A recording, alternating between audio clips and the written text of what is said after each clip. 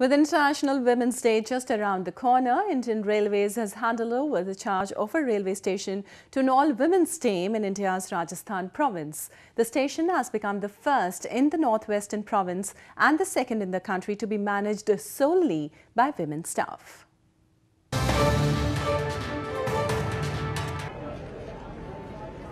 An all-woman staff is running operations at Gandhinagar railway station in India's northwestern Rajasthan province, making it the province's first and the country's second to be managed solely by women. The station was handed to an all-women crew by Indian Railways Ministry last week. The station's workforce comprises of 40 women who are responsible for running the operations at the station, which include ticket bookings, checking and reservations. Even the railway police force or RPF personnel deployed at the station are women.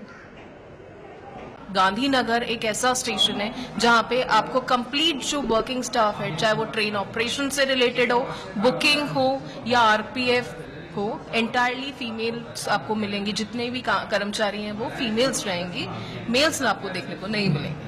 अच्छा भी लग रहा है हम लोग को बहुत feeling बहुत एक कहते ना कि अजीब सी फीलिंग है अंदर की हमें कुछ अच्छा करके दिखाना है हम लोग को एक अपॉर्चुनिटी इतनी अच्छी दी गई है तो डेफिनेटली हम लोग अच्छा ही करेंगे इसमें Over 50 trains pass through the Gandhinagar station located on the New Delhi Jaipur route and it receives a footfall of nearly 7,000 passengers every day.